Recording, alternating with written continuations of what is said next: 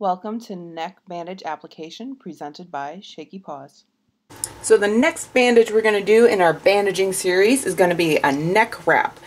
The materials you're going to need are your bandage scissors, vet wrap, cling or elastic gauze, cast padding, non-porous tape, and a little Telfa pad that you've cut into a smaller square with a little notch in it. Now some of the reasons we're going to do a neck bandage is to cover a wound or to secure a jugular catheter or a central line. So the first step is this area should be nice and sterile from placement of the triple lumen.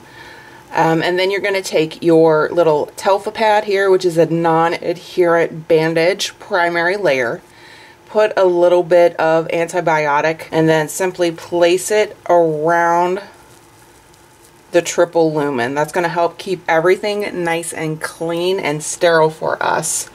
Ideally, when placing this on a triple lumen, not necessarily just a wound, you're going to make sure that you're using sterile gloves, and sterile bandaging material. So for neck wrap, remember it is not a pressure wrap. You're going to go around the neck being extremely conscientious of pressure. You don't want to apply any sort of pressure.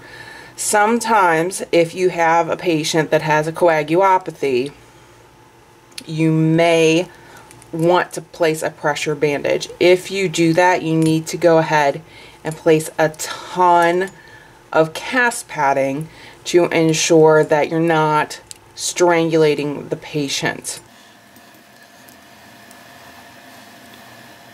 Alright, the next layer is going to be our gauze or our cling.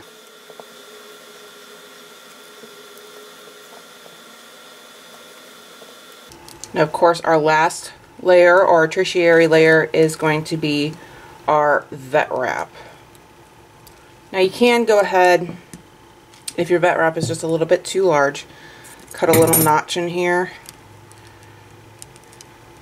to help not make your bandage quite so bulky.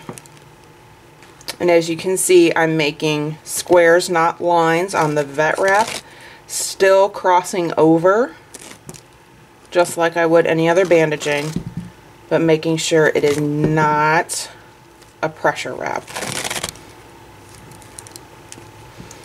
Now with this, now we've got this flopping around. That doesn't really help us too much. What I like to do to help secure it and to keep it out of the patient's face as well as preventing them from vomiting on it because this needs to stay really, really sterile I'll go ahead and take each one of these ports, making sure I can still identify them. And placing them up like so. You need to be able to see the color of the ports when it comes to any sort of bilumen or trilumen, which we have the triple lumen here, so I really do need to see the ports. If it's just a single lumen central line, you're only going to have one port, so it's okay to go ahead and tape the port up. I know this looks a little yucky, but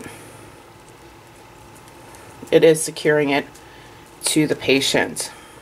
And if the patient was starting to move around, I might throw another layer on there. But if you don't place these little tabs or they're kind of butterflies on there, they end up slipping through and causing a whole bunch of havoc. Um, if this was a live patient, I'd probably place another layer on there just to cover that up so it's not in the patient's face and annoying them.